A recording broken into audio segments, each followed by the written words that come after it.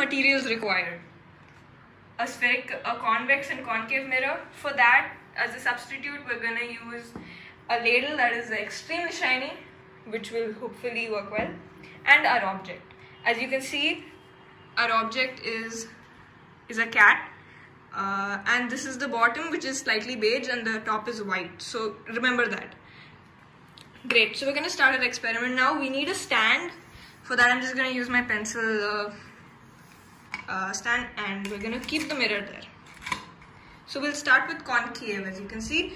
It curves inwards concave as the name suggests. And we're going to see how the image formed. Okay so I'm going to take the object right and there.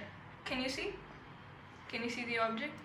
The object appears to be inverted as in it's ulta the top is up and the up is uh, down and you can see us as well.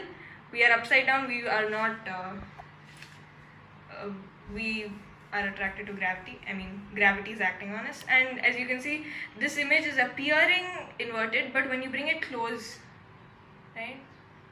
You bring it very close. Ah there. Can you see?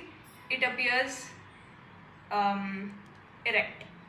That is how we see it in real life so with that we established that the concave mirror produces mostly an uh, inverted image but when close to the pole it uh, produces an erect image and next we're on to the convex mirror which is curving outwards. We're going to use this. And uh, you may already be able to guess that since we are also standing uh, uh, normally our object is also going to behave in a similar way so when we move it towards yeah this light falling on it one minute yeah and as you can see our cat appears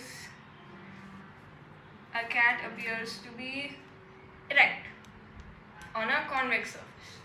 So with that we conclude our experiment and that is the image formed by a concave surface uh, is usually um, um, inverted